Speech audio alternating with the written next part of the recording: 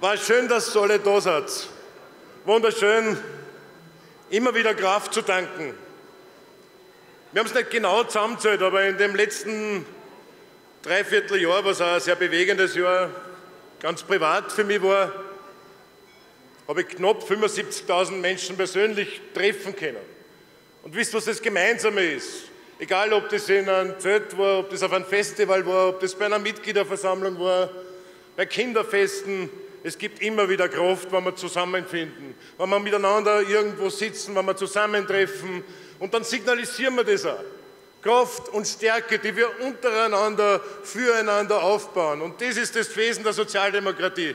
Deswegen danke ich heute, dass du das organisiert hast, Max, dass du mich eingeladen hast, hier heute zu euch zu kommen. Und ich danke allen auch von anderen Bundesländern, die heute da sind und den vielen Tausenden, die uns heute zuschauen über Fernseher und Livestreams. Vielen herzlichen Dank, dass ihr alle da seid.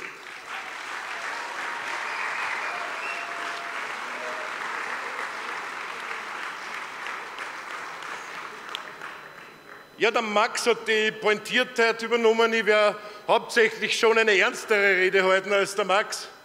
Ein Witz probiere, aber er ist wahrscheinlich nicht so gut vorgetragen wie du.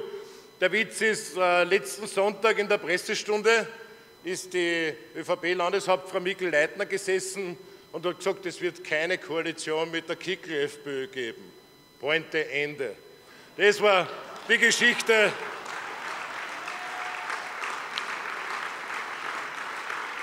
Es war genauso, wie wenn Sie uns erzählen würden als nächstes, Sie werden sich das nächste Mal an die Wahlkampfkostenobergrenze halten, die ÖVP. War genauso der gute Witz. Aber jetzt dann Spaß beiseite, liebe Freundinnen, liebe Freunde, die wir heute zusammen sind.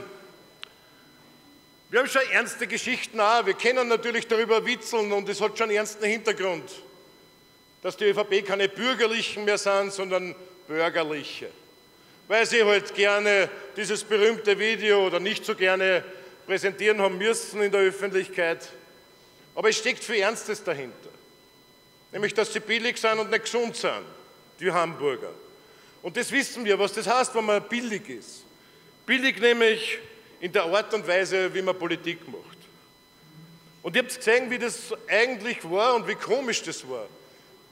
Wie der Bundeskanzler Karl Nehammer dieses Abrissprogramm präsentiert hat, Abrissplan wo er hergesagt hat und was das eigentlich für eine Verhöhnung ist. Von uns allen, ganz normal, wurscht, ob wir politisch tätig sind oder nicht, wenn man sich hinstellt, wenn man 37 Jahre lang in der Regierung ist, sechs Jahre, über sechs Jahre jetzt an der Regierungsverantwortung als Kanzlerpartei hat und dann sagt man, ich habe jetzt einen Plan, ich will jetzt was tun, ich will euch gern sagen, was ich gern tun würde. Wie kommen wir sie da vor, als Bürgermeisterinnen, als Bürgermeister, als Gemeindevertreterinnen, als politische Menschen, wenn wir sie hinstellen am Ende einer Periode, wenn wir nach fünf Jahren gewählt werden oder auf sechs Jahre, wenn wir sie hinstellen und sagen, das hätten wir aber gern gemacht, leider haben wir bis jetzt noch nichts gemacht. Und das ist die Art und Weise, wie sie Politik begreifen. Das war genauso, wie wenn sie einen Fußballtrainer hinstellt und sagen, Burschen, so spielen wir das heute, so gehen wir es an heute, das Match. Aber wisst ihr, wie das vergleichbar ist? Das war so wie beim Fußballmatch-Trainer, der sagt, wir spielen das jetzt so. Oder den spielt er erst nach der dritten Minute Nachspielzeit und beim Stand von 0-3. Dann sagt er, so spielen wir das heute. Und genauso ist es, wenn du 37 Jahre Verantwortung trägst, wenn du sechs Jahre lang Kanzlerverantwortung mit 37 Prozent sogar bei der letzten Wahl einfach Verantwortung hast und eigentlich dein Hocken nicht magst. Und da müssen wir wieder zurück. Wir sind doch alle in der Politik aktiv, als Mitglieder, als Aktivistinnen, als Funktionärinnen, vor allem wenn wir Mandate übernehmen, damit wir was weiterbringen, damit wir was arbeiten, damit wir die Bedingungen verbessern. Das ist doch unser Auftrag. Und das ist eigentlich der große Skandal, sich hinzustellen und eine Abrissrede zu halten und sagen, eigentlich wollen wir das noch machen, obwohl unsere Periode eigentlich schon vorbei ist. Und ich sage euch das, die haben das Gespür verloren. Sie haben ein politisch das Gespür verloren. Und das ist wirklich eine ernste Angelegenheit, weil es so viele Menschen trifft in unserem Land dass man die Teuerung durchrauschen hat lassen. Ganz brutal durchrauschen hat lassen. Und sie haben das Gespür verloren, was das heißt für die Leute, für die Lebensrealitäten, Tag für Tag. Deswegen bringe ich auch das Beispiel, es ist ja ein Vorteil einmal, dass man endlich einmal auch einen Bürgermeister hat aus der Kommunalpolitik, der auch in der Bundespolitik Verantwortung übernimmt. Weil wir wissen, was das heißt. Für die Pensionistin, für den Pensionisten. Wenn die zu uns kommen und sagen, ich zahle jetzt für die Wohnung 200 Euro mehr im Monat als noch, äh, als noch vor zwei Jahren, 200 Euro, das sind zweieinhalbtausender Knoppe im Jahr. Die für dieselbe Wohnung 64,3 Quadratmeter. Ich habe den Zettel oft eingesteckt gehabt in den letzten Wochen, damit wir wissen, von was wir reden. Zweieinhalbtausender im Jahr mehr zahlt. Da haben wir noch nicht geredet davon, wenn sie mal in einer Kulturveranstaltung gehen will, in ein Konzert besuchen will, weil das auch teurer geworden ist. Da haben wir noch nicht geredet, wenn sie in ein Schwimmbad einmal gehen will, in ein Hallenbad, weil das auch teurer geworden ist. Da haben wir noch nicht geredet von den Gas- und Energiepreisen, wo die Regierung auch total versagt hat, den Markt einmal zu regeln, was sie mehr zahlen muss. Und wisst, was das heißt? Ganz konkret, und das ist Sozialdemokratie, dass Politik sich so begreift, aus der Lebensrealität herauszudenken, dass man den Menschen die Würde nimmt. Das war eine Pensionistin, nicht einmal eine Bindespensionistin, sondern eine Pensionistin, die hat schwach geworden. Derer hat man die Chance genommen, dass Weihnachtsgeschenke einkauft. Derer nehmen wir jetzt die Chance wieder, dass den Enkeln was zum Geburtstag schenken kann. Aber es sind auch die Familien im Generellen, die zu uns kommen, in die Gemeindestuben und sagen, wir müssen leider, wir wollen zwar nicht, aber wir müssen vielleicht doch auf eine kleinere Wohnung umsteigen. Wir können es nicht mehr da halten. Es sind die Elternvereine, die zu uns kommen und sagen, wir haben zwei, drei Kinder in der Schule, in der Klasse sitzen, die können nicht mehr mitfahren auf einen Skikurs, auf eine Projektwochen. Das sind die konkreten Auswirkungen und das Gespür hat die Politik verloren in der ÖVP. Sie sind entfremdet von den Lebensrealitäten der Menschen, sie lassen es durchrauschen und das werden wir als Alternative entgegenstellen. Wir werden uns entgegenstellen aus einer Bewegung, die aus der Mitte der Leute herauskommt und weiß, was politische Entscheidungen auch tatsächlich bedeuten. Liebe Freundinnen, liebe Genossinnen und Genossen.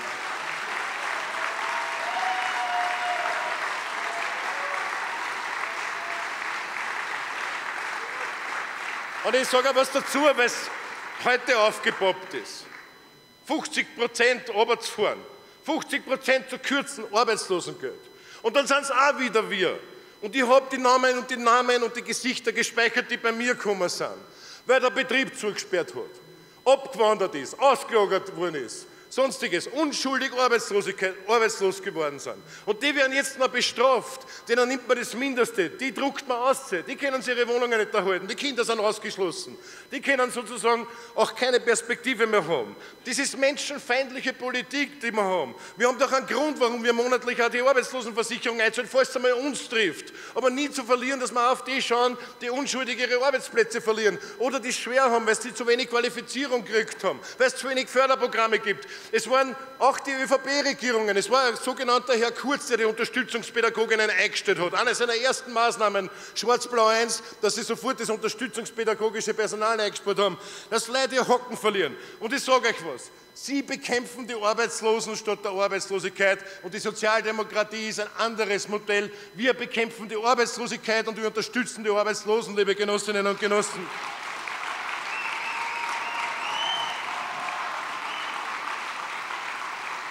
Und weil der Max schon den, den Jesus sogar mit reingenommen hat in seine Rede. Das ist aber auch genau der Grund, warum die Kirche, warum die Caritas, warum christlich-soziale Organisationen heute mittlerweile mit der Sozialdemokratie marschieren. So wie wir es heute lesen haben können und sie von der ÖVP abgewandt haben. Und es ist die Einladung, mit uns ein Stück dieses Weges zu gehen. Wir schauen auf die Leute. Wir haben Respekt vor Menschen und dieses Menschenbild macht uns mittlerweile auch sehr stark unterscheidbar zur ÖVP, liebe Freundinnen und Freunde.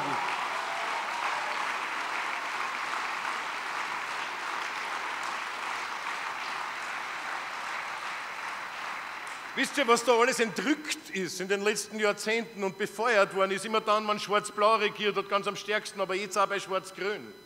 Was da entrückt ist, moralisch entrückt ist in den letzten 20 Jahren allein. Da war es auch schon so, dass die Manager, die Vorstandsmanager das 20-fache vom durchschnittlichen Arbeitnehmer in ihrem Betrieb verdient haben. Und mittlerweile verdienen sie das 80-fache im Jahr.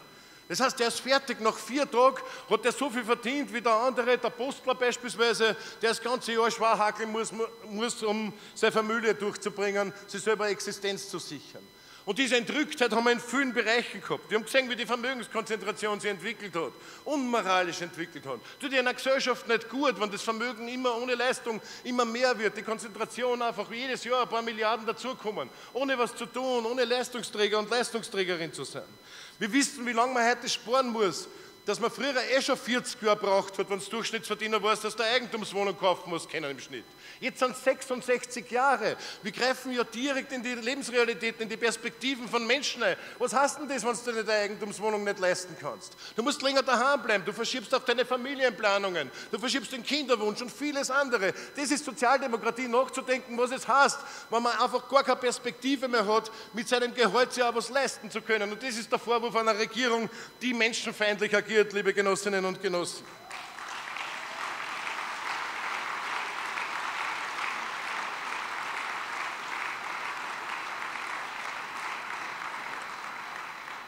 Und da könnte man das aufzählen. Und ich will nicht jeden Bereich voll machen, weil sonst dann wäre die Zeit komplett weg. Aber wir wissen, was das heißt, dass wir ein Gesundheitssystem gehabt haben, auf das wir eigentlich sehr stolz waren in Österreich.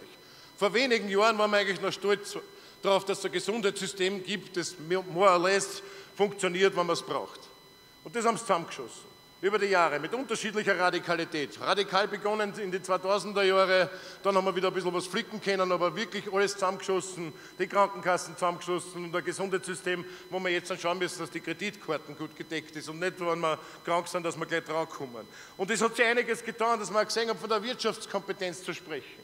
Auch von der ÖVP. Wer sind denn die Leute, die Wirtschaftskompetenz haben? Wir haben das Interesse, dass wir gute Standorte haben. Das ist die Sozialdemokratie, weil wir wollen ja die Beschäftigten sichern. Wir wollen ja, dass die Leute Rocken haben in der Region. Wir sind das, die, die moderne Standortpolitik betreiben. Wir sind die, die sagen, die Betriebe sollen auch investieren können, die brauchen berechenbare Stromkosten. Wir sind die, die in Industriepolitik so denken, dass es moderne Forschungsmittel gibt, dass es Gelder auch gibt, die den Betrieben helfen, heute auf Technologien umzusteigen. So wie wir es gesehen haben, auch in Kapfenberg. Das ist nicht umsonst dort passiert, wo die Rahmenbedingungen auch in einer roten Stadt passen, dass man dort den modernsten Hochofen hat, ganz einfach. Und mit der Abwärme aus der erneuerbaren Energie, die sagt, die Faktor auch noch die Stadt auch noch mitheizen kann. Das ist Sozialdemokratie, das ist moderne Standardpolitik wenn wir es aus der Beschäftigten-Sicht da miteinander denken.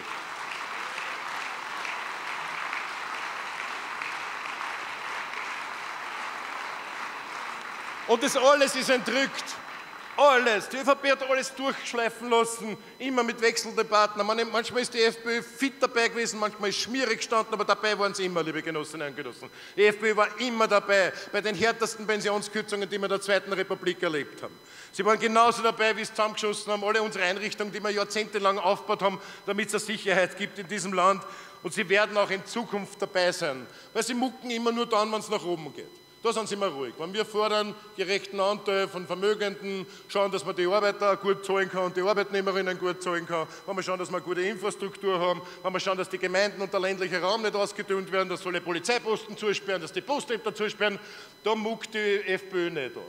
Aufmucken tut es nur in andere Geschichten, auf die ich später noch zu sprechen komme. Und das ist der Unterschied. Die ÖVP hat zugeschaut, hat das alles zusammengeschossen. Aber wisst ihr, was der ÖVP wichtig war? Was ihr ganz wichtig war? Und von dem sie sich ja fürchtet. Das ist das Binnen-I. Das ist das große Problem. Das Binnen-I ist das Gefährliche, das wir ändern müssen. Das zeigt den Anspruch der ÖVP. Durchrauschen lassen, auf die Leitpfeifen, Standardpolitik hinmachen in Österreich, alle Menschen respektlos zu behandeln, aber das Binnen-I müssen wir bekämpfen. Und wenn das Binnen-I nicht genug ist, dann sitzen sie beieinander und ziehen noch los im ÖVP-Club.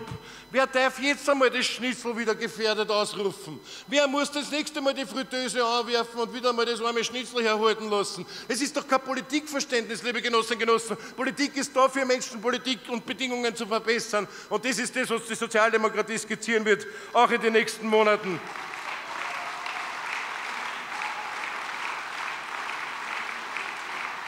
Und ihr habt es gesehen, das hat viel mit Modernität zu tun. Das hat viel mit Wissenschaftsaffinität zu tun, mit Forschungsaffinität. Sozialdemokratie denkt in eine moderne Gesellschaft. Das ÖVP-Programm von Karl Nehammer war ja wie aus einer falschen Zeit, das war ja 80er Jahre irgendwie. Auch die Themensetzung. Du hast ja geglaubt, der ist ja zurück in einer Zeit, die wir jahrzehntelang hinter uns gelassen haben. Wir müssen Modernität in dieses Land bringen. In all den Ansätzen, wenn ich vorher gesprochen habe über Wissenschaft und Forschung, über Töpfe, die wir brauchen, dass wir dekarbonisieren können, damit wir Emissionen rauskriegen, dass wir gesunde Arbeitsplätze, gesunde Regionen haben, damit wir unsere Grundwasserspiegel erhalten, damit wir unsere Gletscher erhalten und sichern können. Da braucht es auch den Schulterschluss mit der Wissenschaft. Und für das steht auch die Sozialdemokratie. Moderne Partei heißt auch mit der Wissenschaft gemeinsam die besten Konzepte zur Sicherung unserer Regionen und unsere Republik voranzutreiben. Und die ÖVP hat mit diesem Plan uns zurückkatapultiert in eine Zeit, die wir über Jahrzehnte eigentlich schon hinter uns gelassen haben. Und ich sage euch auch, was dieser Heiratsantrag, was dieser Plan ja war. Habt ihr ein paar Punkte gesehen? Es war ein Heiratsantrag an die FPÖ. So billig, einfach ein Heiratsantrag. Da waren ja viele Punkte und auch viele kritische Journalistinnen und Journalisten, die uns heute sagen, ja, zu Recht sagen, sie können auch nicht mehr groß unterscheiden, den Unterschied zwischen ÖVP und FPÖ von der Programmatik. Da rede ich vom Frauenbild beginnend und viele andere Geschichten und Grauslichkeiten, die da drinnen vorkommen sind. Aber ich sage euch eins, warum die das machen. Und das müssen wir ernst nehmen. Sobald es eine einzige Stimme Mehrheit gibt, für Blau-Schwarz in diesem Land, dann wird es kommen.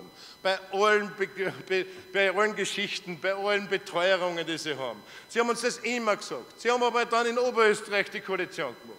Sie haben in Salzburg die Koalition gemacht. Sie haben sie in Niederösterreich gemacht und sie werden es im Bund machen. Und das kann ich euch äh, versichern. Es ist eine Richtungsentscheidung in diesem Land und ich sage ganz bewusst, Richtungsentscheidung muss man aufpassen. Bin auch schon 35 Jahre in der Politik auf vielen Ebenen tätig gewesen, von der lokalen bis zur internationalen politischen Ebene. Und ich kann das Wort Richtungsentscheidung manchmal auch nicht hören, weil es ist immer eine Richtungsentscheidung, wenn wir zusammensitzen. Zu motivieren, wir Trainer ist eine Richtungsentscheidung. Aber ich sage euch, diesmal hat es eine neue Qualität, wenn wir darüber sprechen. Wenn wir über Richtungsentscheidungen wirklich in dieser Republik sprechen, die alle unsere Kinder bis zu den Pensionisten betreffen und gefährdet. Nämlich dann, wenn sie über Urbanisierung sprechen. Blau-Schwarz gemeinsam, alle die großen Orban-Freunde dieser Republik. Federführend die FPÖ. Wenn sie Gefängnisse de facto produzieren wollen, obwohl sie Festungen plakatieren. Festung plakatieren und Kerker zu machen. Das ist die Realität, das müssen wir allen Menschen sagen. Lasst euch nicht fangen von diesen billigen Sprüchen. Wisst ihr, was das heißt, diese Urbanisierung jetzt? Das wir jetzt schon erleben, der, warum das eine Richtungsentscheidung ist. Warum die FPÖ wirklich tatsächlich gefährlich ist, wenn sie mit der ÖVP an der Macht ist. Weil sie diese Urbanisierung durchsetzen. Sie sagen es uns ja jetzt schon. Sie greifen Institutionen an, von der unabhängigen Justiz beginnend und auch die Arbeitnehmerorganisationen wie die Arbeiterkammer, die, wir sie mühsam zum Schutz für Arbeitnehmerinnen in diesem Land aufgebaut haben.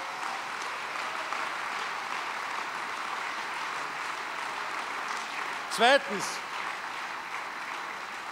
Zweitens, zweiter Schritt. Sie greifen mal die unabhängigen Medien an. Sie greifen die unabhängigen Medien an. Sie haben kein Interesse. Und der dritte Schritt, und der wird kommen und den sehen wir jetzt schon, wann Kickel spricht von Fahndungslisten. Sie werden nicht davor zurückschrecken, Andersdenkenden, kritischen Stimmen, zuerst die Journalistinnen, Journalisten, aber dann auch überhaupt kritische Stimmen, einfach auf Fahndungslisten zu setzen und auch die persönlichen Freiheitsrechte von Menschen in unserem Land anzugreifen, unabhängig von wo wir kommen. Wenn wir ihnen nicht zur Stirn stehen, dann werden sie uns diese persönlichen Freiheitsrechte angreifen. Das ist der dritte Schritt der Urbanisierung, den sie vorhaben. Und ich kann euch das nur sagen, wenn aus einer Radikalität das passieren wird. Das sehen wir ja. Was passiert denn übersetzt, wenn wir sprechen von Fahndungslisten? Was soll denn das heißen, wenn wir solche Begriffe in der Öffentlichkeit haben? Ich muss ja immer schauen, dass kein Kind zuschaut, wenn das so geht. Was soll ich meinen Kindern erklären, einmal, wenn ich da beim Fernseher vorbeirenne, die redet einer von Fahndungslisten. Was heißt denn das, wenn du dann gefangen wirst? Wenn du erwischt wirst, nachdem du auf einer Fahndungsliste warst? Was passiert denn mit den Menschen, die auf einer Fahndungsliste sind? Eingesperrt, umgebracht, Wecker? Was soll das sein? Wir haben eine Verantwortung in dem Land. Für jedes einzelne Kind, das das nicht huren soll. Für jede Person in diesem Land. So eine, so eine Sprache, so ein Gedankenmuster hat in unserer Republik nichts verloren. Und jetzt, wo wir erlebt haben, ich sage das mit vollem Ernst, deswegen der Hinweis, dass das wirklich eine Richtungsentscheidung ist. Jetzt, was wir erleben haben müssen, vor ein paar Wochen, was da passiert ist in Deutschland, das waren Gefährdungs Programme. Das waren halbe Umsturzpläne schon von demokratischen Republiken. Und das war unter Beteiligung der Rechtsextremen, auch von österreichischen Rechtsextremen, die dort sitzen. Und das sind die, diejenigen, die Herbert Kickl als unterstützungswürdiges Projekt sehen. Identitäre, unterstützungswürdige Projekte. Ich sage euch das, was das heißt. Ich zitiere. Hohe Gewaltbereitschaft bis hin zu Sexualverbrechen. Über 120 registrierte Schusswaffen. Personelle und inhaltliche Verbindungen in die Neonazi-Szene. Das ist nicht Zitat Andreas Babler. Das ist die Direktion für Staatsschutz und Nachrichtendienste, die das sagt. Und ich sage, wer das jetzt dann noch als klar redet, der nicht aufwachen will in einer Republik, wo demokratische Grundpfeiler gefährdet werden, über Urbanisierung, über Festungskonstrukte und Gefängnisfantasien, der muss jetzt mit uns aufstehen. Und ich verspreche euch eins,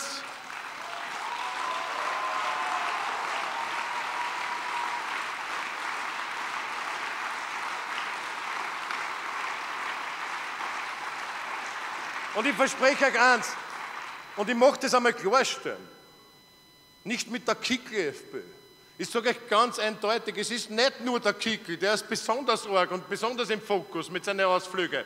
Es ist genauso, wer würde eine FPÖ-Koalition mit einem Landbauer mit seinen Nazibücheln? Wer will eine Koalition mit einer FPÖ, mit einem Schnedlitz, der der Festredner bei identitären Veranstaltungen ist?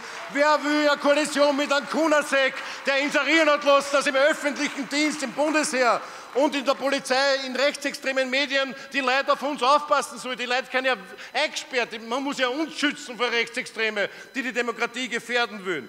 Die FPÖ ist die FPÖ und deswegen garantiere ich, die Sozialdemokratie hat eine besondere Verantwortung in der Frage dieser Demokratie, auf die wir stolz sind, auf diese Republik Österreich. Wir haben geschichtlich zweimal diese Republik aufgebaut, unter blutigen Opfern vieler unserer Vorgängerinnen und Vorgänger.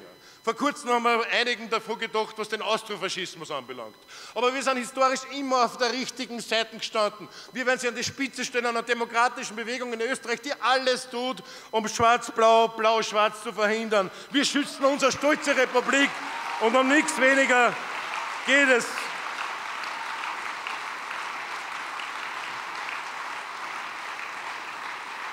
Und der Herbert Kickl mag dazu keine kritischen Fragen. Logischerweise, weil dann hätte man genau das Resultat, was ich gerade skizziert habe. Er mag keine kritischen Medien. Darum ist er ja dagegen, dass die weiter existieren sollen. Deswegen werden wir in Zukunft vielleicht auch keine Livestreams mehr auf Fernsehstationen haben, aus dem FPÖ-TV, wo er jetzt selber Regie führt. Weil er Angst hat. Und das ist der Punkt. Angst, dass man ihm das Face-to-Face -face ins Gesicht vor Menschen auch tatsächlich damit konfrontiert, was seine Pläne sind. Und ich sage es in aller Deutlichkeit. Herbert Kickel ist ein Angstbeißer. Er ist im tiefsten Inneren unsicher. Er nimmt alles als persönliche Bedrohung wahr und er versucht es mit einem aggressiven Gekläff zu überspülen. Und das ist Herbert Kickel. Und dieser Angstbeißer, dieser Angstbeißer, wenn er Angst hat, dann schnappt er zu. Und ich sage euch das, das große Problem, was wir haben mit Angstbeißer, was ist das große Problem mit Angstbeißer, das wir haben? Der böt nicht nur die Einbrecher an, der beißt auch die Nachbarin, die was vorbeibringt. Der beißt auch die Postlerin und manchmal beißen sie auch die eigenen Leute. Und das mag ich einmal zum Nachdenken mitgeben. Das ist ein Angstbeißer, der alle beißt, wenn es notwendig ist. Und das ist Herbert Kickel, liebe Genossinnen und Genossen.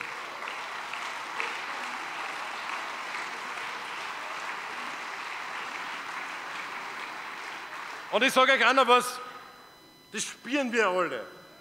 Wenn man sich seine Auftritte anschaut, wenn man sich seine Bühlen anschaut, die er produzieren lässt, da kriegt man ja den Verdacht, und ich glaube, da können wir, viele von uns werden den teilen in diesem Lande. Herbert Kickl mag auch keine Menschen. Ich glaube, er mag nicht einmal seine Freunde, und jetzt überspitze ich es ein bisschen, ich glaube, er mag nicht einmal sich selber. Und das ist eine gefährliche Kombination. Angstbeißer und keine Leute wollen, das kann niemand sein, der in der Republik Verantwortung übernehmen kann.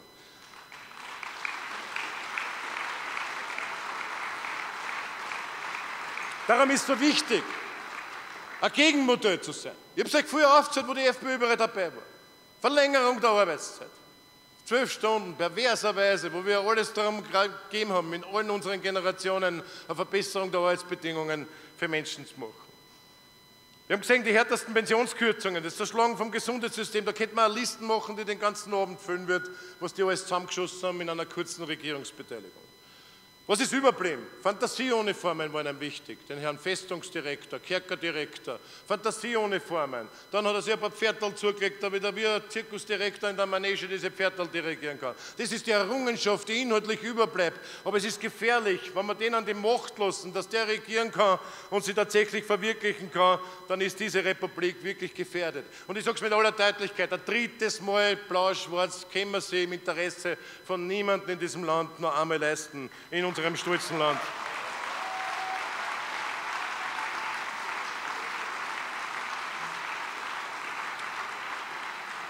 Und wenn ich über diese Entfremdung und die Distanzierung zum Menschen spreche von der FPÖ, dann ist es so, wie ich es vorher über die ÖVP gesagt habe.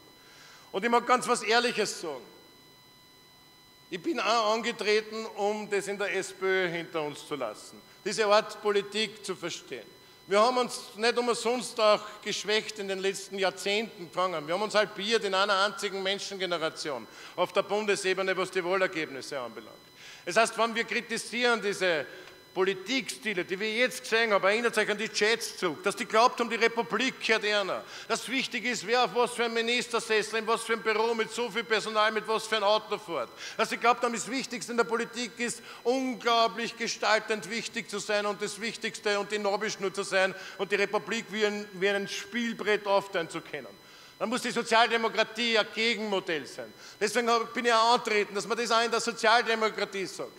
Wir müssen nachdenken, wie man Politik begreift. Und das ist auch mein Ort von Politik.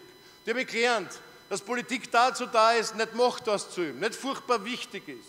Ich erzähle euch das, das habe ich als Bürgermeister. Das erzähle ich auch meiner Tochter, wenn sie in die Schule geht. Na klar kommt manchmal der Bürgermeister, der Bürgermeister. Der hat schon eine Funktion und ich habe schon wichtige Entscheidungen zu treffen, was die Stadt und die Kinderangebote ist. Aber ich sage es zu meiner Tochter und so müssen wir Politik begreifen. In dem Moment, wenn die Heizung ausfällt in der Schule, dann ist es wichtiger, dass der Installateur da ist, weil dann wird es wieder warm. Das heißt, Respekt gegenüber jedem Einzelnen, nicht was Besseres sein. Das ist die neue Politik auch in der SPÖ.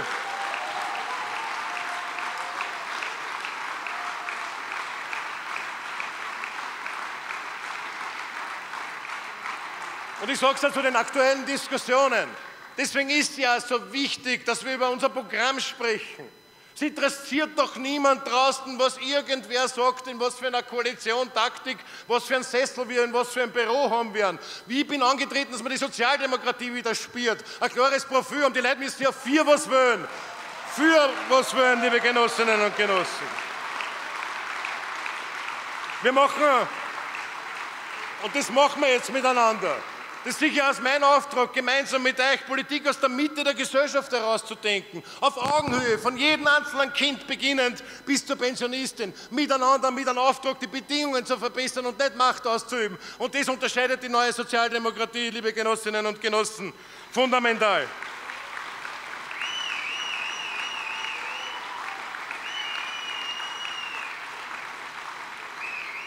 Und wer hätte die Johanna Donau ihren 85er gefeiert hat.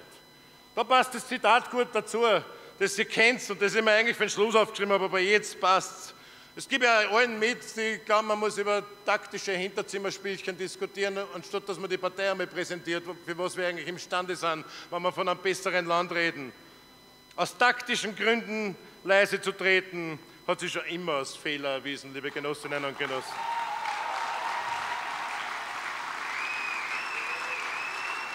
Und darum wirbe ich jetzt dafür, dass wir nicht nur gegen was sind. Da könnte man ja drei Abende durchfüllen, sondern die Leute müssen auch wissen, für was wir stehen. Und das sind die Punkte, die kann man zusammenfassen, immer mit diesem Schlagwort mehr Gerechtigkeit. Aber was heißt denn mehr Gerechtigkeit konkret? Da kann sich ja noch keiner was drum kaufen, wenn wir sagen, mehr Gerechtigkeit. Kann man auf ein Plakat schreiben am Schluss. Aber wir müssen skizzieren, wo wir hinwollen. Und ich sage euch das Beispiel der letzten Lohnverhandlungen. Es ist kein Zufall, dass die SPÖ die einzige politische Kraft in diesem Land ist, die Seite an Seite mit unseren Gewerkschaften, mit unseren Lohnverhandlern gestanden ist und sie politisch unterstützt haben, weil wir wollen, dass die Leute gute Löhne kriegen.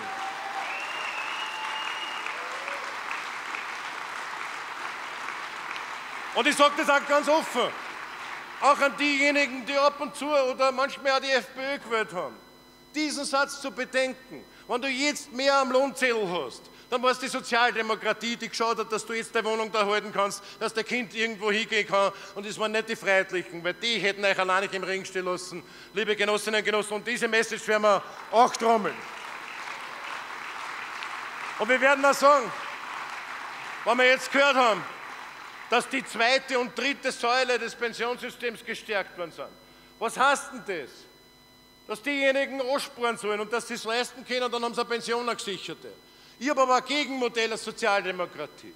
Nämlich dann, wenn man jahrzehntelang gearbeitet hat, wenn man aufgestanden ist, wurscht, ob man im Supermarkt kakelt hat, in der Gesundheitsversorgung kakelt hat, wenn man als Lehrer tätig war, wenn man als Polizist tätig war, in der Schwerindustrie gearbeitet hat, dann hat man einen Anspruch drauf. Wir haben jahrzehntelang unsere Beiträge gezahlt, Monat für Monat. Und wir haben ein Recht darauf, dass wir gesetzlich abgesicherte Pension kriegen. Und 45 Jahre sind auch genug. So schwere Hocken, liebe Genossinnen und Genossen.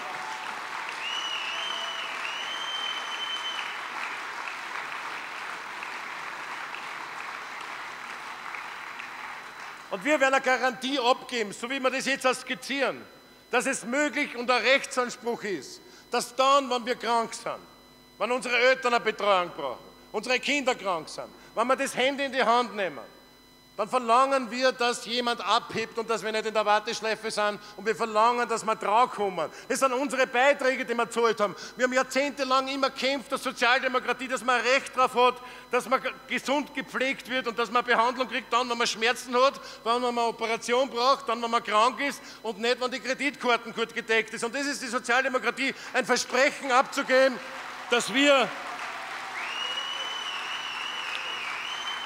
ein Versprechen abzugeben, ein Gesundheitssystem aufzurichten. Es ist so viel Geld da. Es ist nur ungerecht verteilt. Und darum sage ich, wir werden ein Versprechen abgeben, diese Steuer die tatsächlich in der Vermögensbesteuerung liegt, auch gerecht umzusetzen. Da treffen wir die Superreichsten, die zig Millionen, hunderte Millionen schwer sind. Und ich versprich heute an jeden, 98 Prozent der Bevölkerung werden davon profitieren, wenn die Vermögenden nicht immer alles sich richten können, sondern wenn sie einen kleinen, einen futzig kleinen Beitrag leisten können. Sie ist eh sehr defensiv, die Vermögenssteuer. Sie nimmt ja nicht einmal was weg vom Vermögenszuwachs, vom Vermögen selber. Sie beschränkt ein bisschen den Zuwachs. Es ist eher defensives Programm, aber es sichert den sozialen Frieden, aber es sichert auch die Rechte, beste Bildungseinrichtungen, gute Gesundheitsversorgung, Recht auf gleiche Arbeit und Leistung.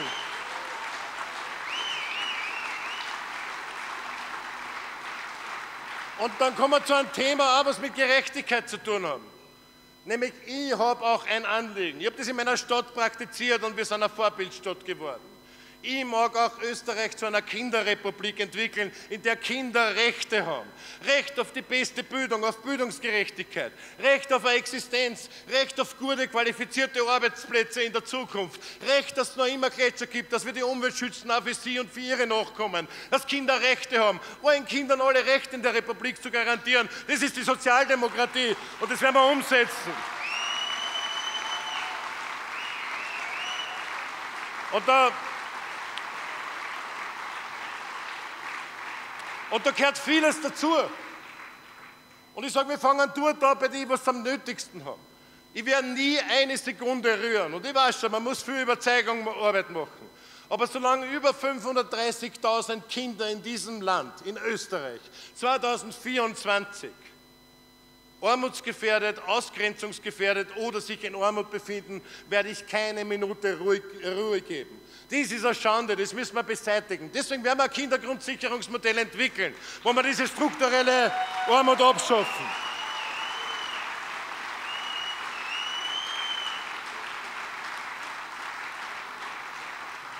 Und wenn wir über Kinder sprechen, dann sprechen wir auf die Bildung. Wir wollen unseren Kindern auch das Recht geben, dass sie die besten Pädagoginnen und Pädagogen haben, wenn sie in der Früh in den Kindergarten gehen, wenn sie in die Kleinkindeinrichtung gehen und wenn sie in die schulischen Einrichtungen gehen. Wie respektlos war es eigentlich, dass wir zuschauen, was jetzt passiert, dass sie angelernte Kräfte dort einstellen. Die haben ja einen der wichtigsten Jobs in der Republik, Pädagoginnen und Pädagogen, unseren Kindern ein Rüstzeug zu geben, ihnen die Chance zu geben, sich selber zu verwirklichen, eigene Existenz aufzubauen. Das ist Bildungspolitik. Und ich werde kämpfen, dass wir diese Bildungspolitik, die heute noch in Maria Theresia Zeiten gründet, dass wir die aufbrechen. Eine Schule ohne Druck, wo die Kinder gern hingehen, zum Erlernen, zum Erforschen, zum Entdecken. Das ist die sozialdemokratische Vision und die werde Stück um Stück, das verspreche ich euch, den Kindern alle Rechte geben auf ein selbstbestimmtes Leben in dieser Republik.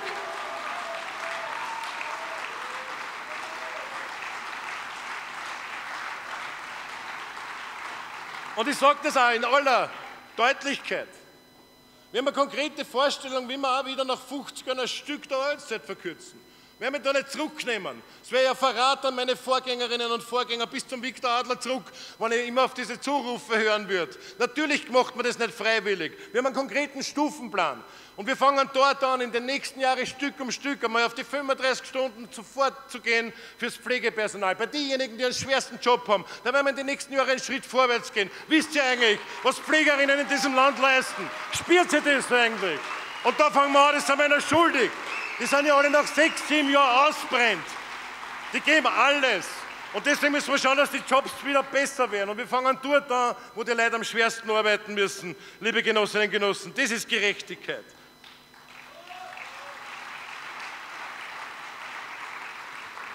Und ich komme zum Schluss, damit ich abend mit, nachher mit euch ein Bier trinken kann in aller Ruhe. Zwei. Für drei Bier sind die anderen zuständig. Aber Sag's euch nur.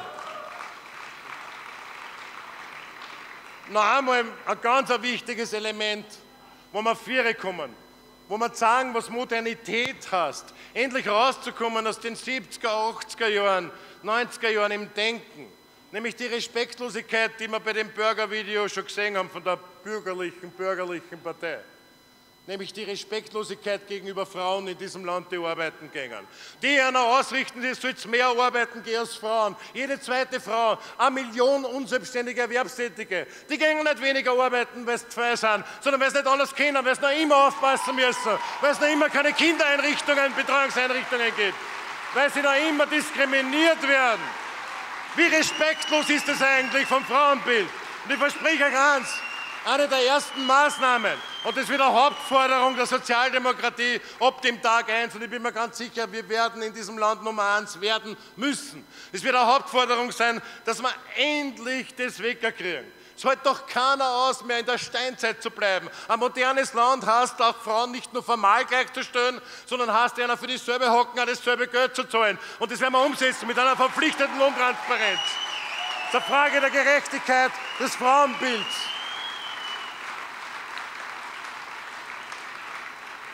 Und jetzt gehen wir raus mit einer Selbstsicherheit.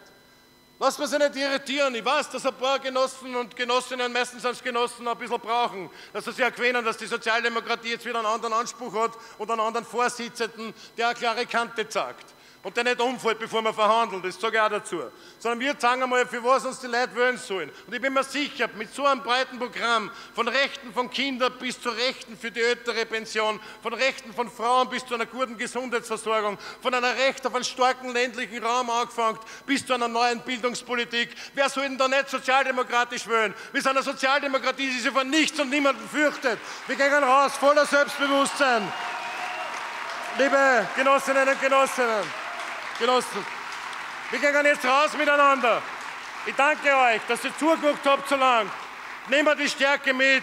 Ich kann euch versprechen, ich werde mit einem Herzblut neben dem Job als Bürgermeister, den ich auch mit sehr großem Stolz erfüllen darf. Wir prüfen es zehn Jahre, also ihr könnt jetzt schon anfangen, leicht zum Gratulieren. Vielen Dank. Aber wir gehen raus in die Wahlauseinandersetzung. Wir werden dieses Land verändern, positiv verändern. Zum ersten Mal wieder spürbar machen, dass Politik auch was Gescheites zusammenbringt, nämlich die Bedingungen zu verbessern. Freundschaft, liebe Genossinnen und Genossen. Glück auf!